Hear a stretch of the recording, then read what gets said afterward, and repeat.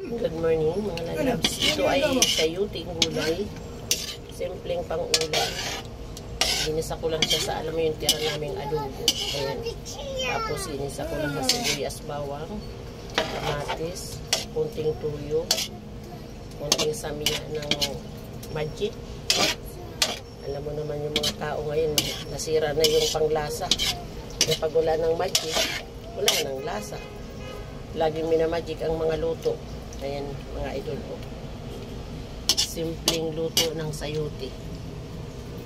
Eh, ginisa lang sa sobrang adobo na nasarip. Sayang din naman kasi. Ayan. Ayan ang labas. Ulam na ng isang pamilya. Ayan, mga lalas. Luto, Anton. Ayan. Ayan. Ito na yung aking gulay. Yum, yum. Ay, binila ulam ah. Ayan, mga lalabs. Ayan, yung aking ano, lang. yung aking kinisang sayuti. Simple lang, ulam na. Salamat.